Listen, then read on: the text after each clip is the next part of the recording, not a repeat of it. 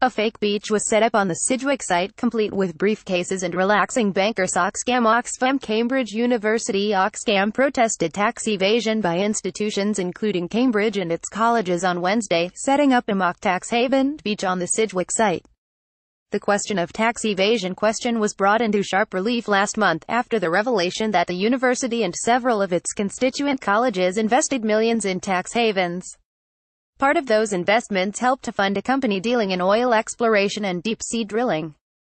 Oxcam President Miriam Quinn told Varsity that their aim was to highlight the issues associated with tax avoidance and tax havens, which are depriving governments across the world of crucial tax revenues which could be used to provide vital services for their people.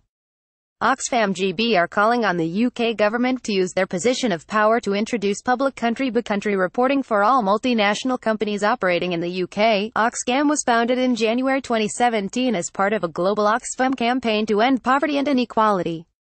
It helped put together the Stand as One campaign in support of refugees and produced Rites of Passage, a play which detailed the experiences of three LGBT refugees. Tax evasion and avoidance are high on their list of priorities, as an organization that aims to tackle the issues facing the systematic root causes leading to poverty and the marginalization. Corporate taxes make up a disproportionate amount of the tax bases in developing countries, twice as much as in richer countries, according to Oxfam's briefing. The failure of companies to pay their fair share of taxes hence has great effects on the world's poorest communities.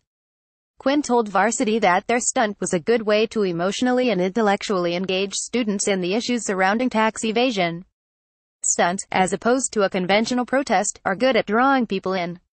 Quinn says, in my experience at least, people are then keen to find out why there's a beach in the middle of Sidgwick site, so it allows for conversations to be started. When the contents of Paradise Papers were first revealed, a spokesperson said on behalf of the colleges and university, the colleges and the university are charities and therefore their holdings and investments are tax-exempt in the UK, US and many other countries. This means there is normally no tax to pay. In reaction, Quinn said, it should be public information where Cambridge and Oxford, as well as other universities, companies and individuals, are paying taxes. It's only when this information is public that these groups and individuals can be questioned on and made to justify their decisions.